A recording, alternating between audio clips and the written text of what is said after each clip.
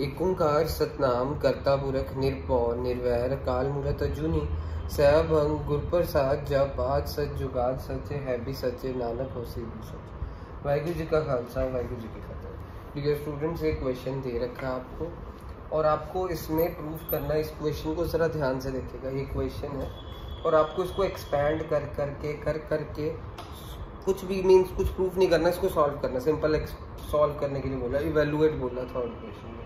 तो आपने एक्सपैंड कर दिया रो वन के साथ। दिमाग में आया रो वन के साथ एक्सपैंड करते हैं। चलो, कर देते हैं। एक्सपैंड करना आ गया। देखो, मैंने आपके सामने कर दिया एक्सपैंड करता गया करता गया करता गया।